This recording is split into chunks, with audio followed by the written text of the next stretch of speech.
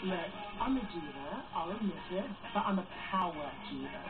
And I was thinking you guys might want to focus on me more.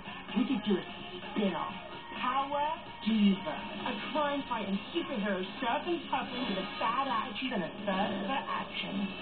Oh, it's got blockbuster written all over it.